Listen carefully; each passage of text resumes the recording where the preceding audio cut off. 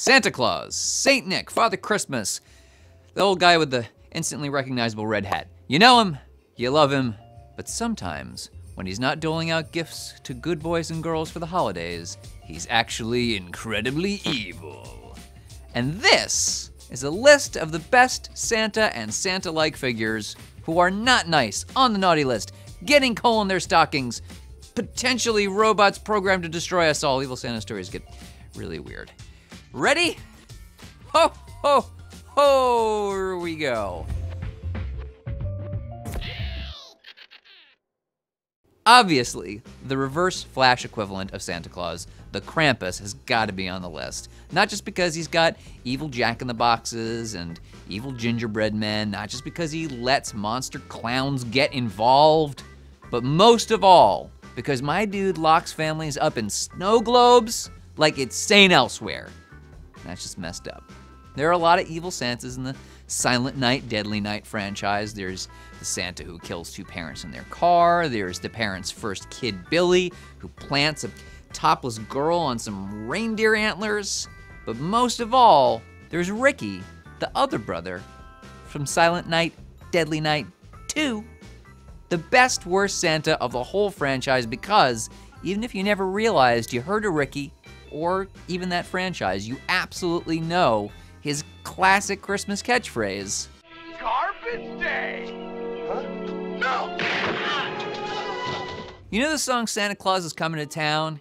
He sees you when you're sleeping, knows when you're awake, he knows if you've been bad or good, etc. Well, that's creepy on its face, let's just be real. But just imagine if the guy who is doing all that stuff isn't Santa Claus, but just some dude, and that is Christmas Evil.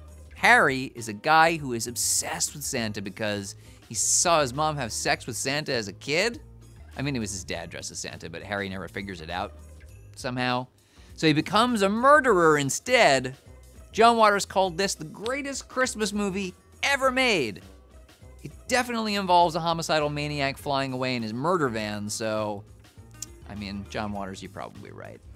Now, Doctor Who does a Christmas episode every year. One episode, they even had Santa Claus save the Doctor and Clara from aliens. But before that, they were evil robot Santas from planet wherever. They started the Doctor Who Christmas tradition with their horn guns and their killer Christmas trees, and one of them was something so terrifying it chilled me to the bone. A bad cab driver gave this New Yorker nightmares for weeks. All right, the Grinch is a bad, bad Santa in that his heart ultimately grows three sizes, and when he becomes nice, he slices the roast beef for all the Who's down in Whoville. But he did originally dress as St. Nick, stealing all the gifts, the food, and decoration from the Who's. And on this list, that still counts for something, even if the Grinch does botch the dismount. That's um, that's how I'm supposed to read the ending of How the Grinch Stole Christmas, right? That the Grinch messed up, right? It's normal reading. Here's a good rule of thumb. If you are an invading alien from another planet, don't let one of your schemes be create a Robo Santa suit for you to wear so you can take over Christmas. That's what happens in the Invader Zim episode, The Most Horrible Christmas Ever. And the result is that Zim gets taken over by the Sentient Santa suit, which in turn transforms into a candy cane spider monstrosity. Plus side, you do get a good Christmas jingle out of the ordeal.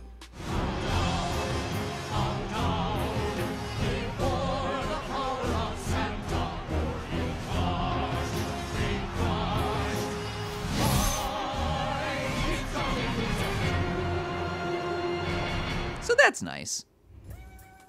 Santa Claus gets shot and killed by Steve Smith on American Dad, but he comes back to life and then is just kind of a dick about it from then on. Even the Krampus turns out to be a dude who's just trying to show kids some tough love before Santa blows him away. Santa also kidnaps and enslaves children in an effort to find gemstones so he can awaken an ancient Sumerian giant named Humbaba. Don't worry though, giant eats him. And that's a Christmas miracle if ever I heard. how to explain Space Ghost Coast to Coast. It's a show in which recycled footage from old Hanna-Barbera cartoons is used as a vehicle to interview celebrities. The host is Space Ghost. He's a ghost from space. I, I don't think his backstory is ever really explained. So it's Space Ghost, right? And his co host, the evil space mantis, some kind of tiki cat, and then this guy who's in a volcano cave. Anyway, in the episode Girl Hair, Space Ghost interviews Hanson. You remember Hanson? And while on the search for a comb to brush their long, luxurious hair, Space Ghost accidentally kills the Tooth Fairy. And that's when, you're waiting for it, Santa Claus shows up. It's not really Santa Claus, it's actually Bizarro Santa, and he wants to use the Tooth Fairy's teeth to make monstrous toys for children. Also, he's a giant monster. Oh, and the Tooth Fairy isn't really dead, so Bizarro Santa and the Tooth Fairy, who is obviously from the Flintstones, fight with lasers and lightning. This all takes place in the span of about two minutes, by the way. Two very memorable. Once you've seen it, you can never unsee it. I've been in therapy about this for years, but nothing helps. Minutes. Meanwhile, this just in from video games from the 90s were messed up. In the Super Nintendo classic, Secret of Mana, you have to fight this giant boss monster called a Frost Gigas, who, first of all, takes a really long time to beat. Second of all, turns you into a snowman, and third of all, turns out, is Santa Claus. Now, why did Santa become a monster, you might ask? Because kids stopped believing in him. So, you see that, kids? Santa is real. And if you don't believe in him, we will all die. But hands down, the best evil Santa of them all hails from the 31st century, where he lives on the planet Neptune in his death fortress, looking down below upon his enslaved Neptunian elves. He leaves only bodies and destruction in his wake, and his only allies are Kwanzaabot and the Hanukkah zombie I speak, of course, of Futurama's Robot Santa Claus. Between his nigh impossible standards for what constitutes being nice, his unholy, brutal rampages, which typify the dystopian Christmases of the future, and of course, his paradox absorbing crumple zones. Truly, there is no stronger contender for greatest evil Santa of them all. Take a bow, you crimson mayhem from hell. You earned it. And now, if you'll excuse me, I think I hear the pitter patter of reindeer hooves on my roof. Santa's here, and only one of us is going to make it out of this studio alive. Merry Christmas!